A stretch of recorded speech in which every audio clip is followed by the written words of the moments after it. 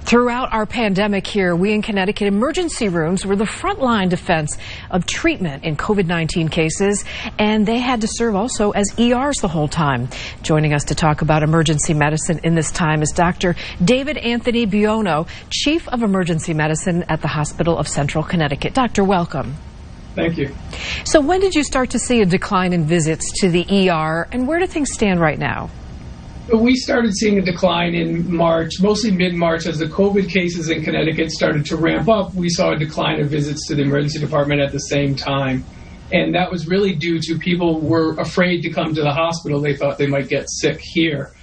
Um, fortunately, over the last two months, we've been ramping back up, and we're about now to about 70 to 75 percent of our normal volume right now.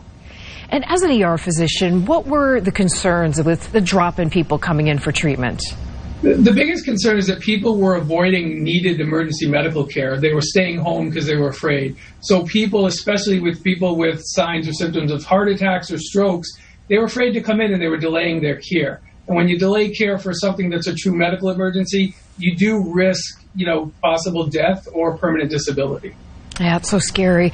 All right, let's talk about precautions that you've taken in the ER to keep everybody safe.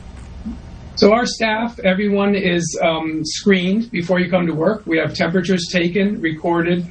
We have a screening um, process that goes to ask questions if you're sick. If anyone is sick, they don't come to work. If you fail to screen, you're not entering the building.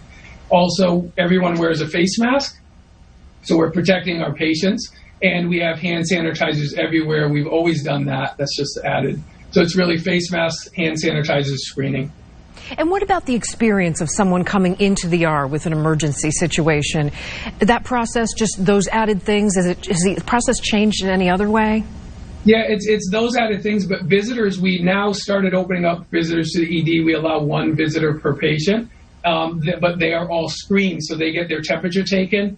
They um, do the screening questions. They have to wear a mask. If they fail those questions, though, or have a fever, they're not allowed in, into the um, building. And let's talk about how your staff is doing at the Hospital of Central Connecticut. Are you proud of everybody? Or they get, you know, Did they get through the wave okay? Yes, I'm, I'm very proud. In the beginning, there was a lot of fear and anxiety, but people did what they needed to and they plowed through and they showed a lot of courage because with us, it was all unknown. Um, but everybody did really well. I'm really proud of our team. What about support from the community? How did that make you feel? These are some of my favorite stories. Yes, the, the support was amazing. We had so much food delivered to us during the, the first few months, and it really was amazing, and it was nice to see. Oh, well, it's great to hear. Keep up the good work on the front lines, Doctor, and thank you very much for taking the time to be with us today. We know you're busy. Thank you. Thank you.